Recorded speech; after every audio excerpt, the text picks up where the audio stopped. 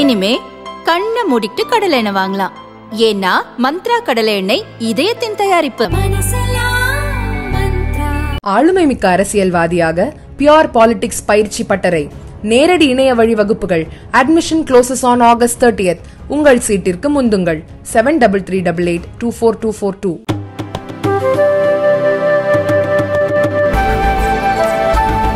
ஐஎஸ்ஆர்ஓவின் முயற்சியால் நிலவில் தடம் பதித்த நான்காவது நாடானது இந்தியா.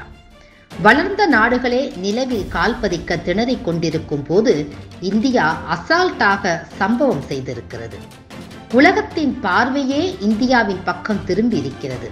ஆனால் சமூக வலைதளங்களில் பல கேள்விகள் உழவுகின்றன நாட்டில் ஆயிரம் பிரச்சனைகள் இருக்கும் போது அறுநூற்றி பதினைந்து கோடி ரூபாயில் சந்திராயன் தேவையா? சில இடங்களில் மனிதர்கள் சாக்கடை சுத்தம் செய்யும் வேளையில் சேட்டிலைட் அவசியமா?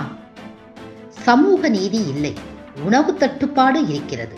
பல குழந்தைகளுக்கு ஊட்டச்சத்து குறைபாடு இருக்கிறது. விவசாயம் கடுமையான சவாலை எதிர்கொண்டிருக்கிறது. ஹனுமன் வால் போல் நீண்டு கொண்டே போகும் பட்டியலில் இத்தனை பிரச்சனை இருக்கும் போது சந்திராயன் எதுக்கு? அதுவும் மூன்றாவது முறை எதுக்கு? நிலவை ஆராய்ச்சி செய்து என்ன செய்ய போகிறோம்? ஏற்கனவே அமெரிக்கா ரஷ்யா சீனா நிலவில் ஆராய்ச்சி மேற்கொண்டிருக்கிறார்கள். அவர்களிடம் தரவுகளை பெற்றுக்கொள்ளலாமே எல்லாமே மிகவும் நியாயமான கேள்விகள். இந்தியாவில் சமூக அக்கறையில் கேட்கப்படும் அனைத்து கேள்விகளும் நாசாவிற்கும் கேட்கப்பட்டது. ஆனால் புகழ்பெற்ற அமெரிக்க விஞ்ஞானி நெயில் டிகிராஸ் டைசான் கொடுத்த பதில் தெரியுமா?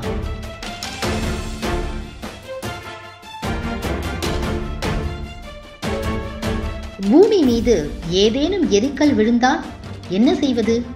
விண்வெளி ஆராய்ச்சியில் ஈடுபட்டால் மட்டுமே இதையெல்லாம் முன்னெச்சரிக்கையாக கையாள முடியும் என்றார்.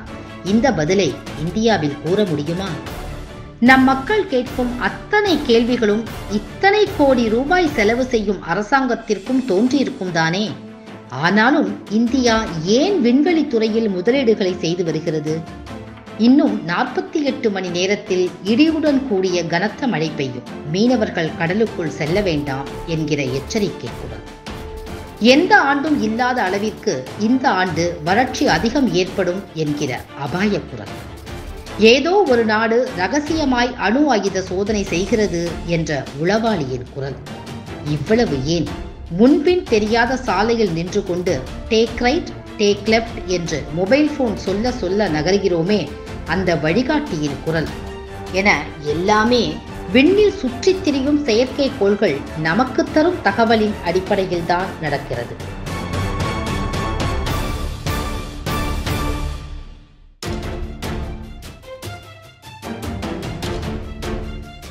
Chandrayaan one two three.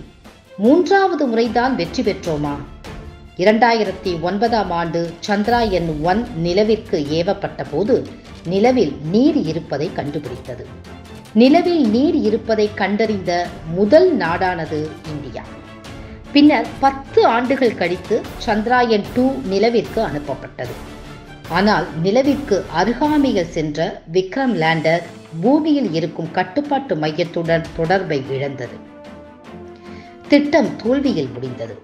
அப்போதைய ஐஎஸ்ஆர்ஓ தலைவர் பிரதமர் நரேந்திர மோடியை கட்டி பிடித்து கண்ணீர் வடித்த காட்சிகள் அனைவரின் மனதையும் கனக்கச் செய்தது.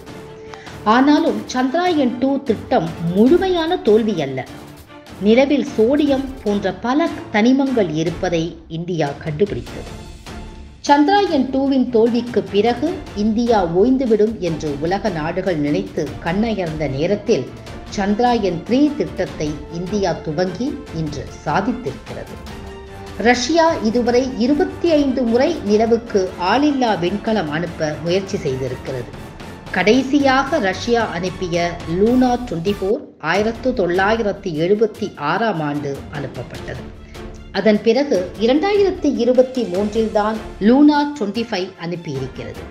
ஆனால் இரண்டாயிரத்தி பத்தொன்பதில் தோல்வியடைந்த சந்திராயன் டூ இரண்டாயிரத்தி இருபத்தி மூன்றில் சந்திராயன் த்ரீயாக விஸ்வரூபம் எடுத்திருக்கிறது.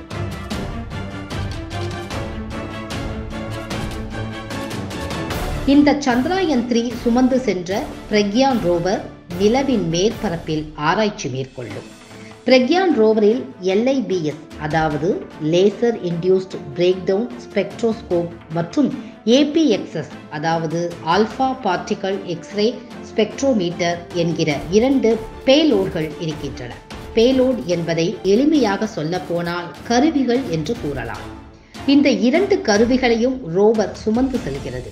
எல்ஐபிஎஸ் கருவி நிலவின் மேற்பரப்பில் இருக்கும் வேதியியல் கூறுகள் மற்றும் தாதுக்களின் அளவீடுகளை குறித்து ஆய்வு செய்யும்.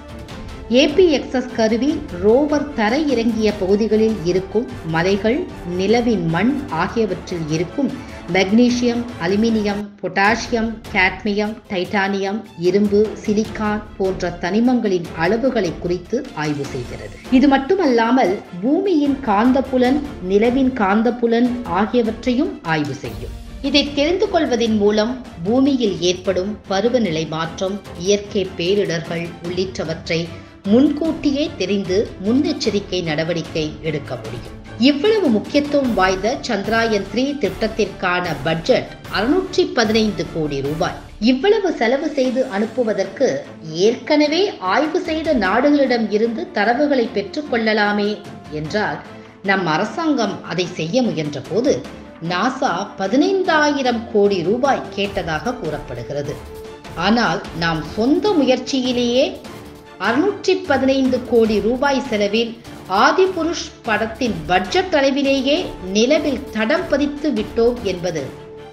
நிலவில் தடம் பதித்து விட்டோம் என்பது அனைவரும் ஒப்புக்கொள்ள வேண்டிய உண்மை.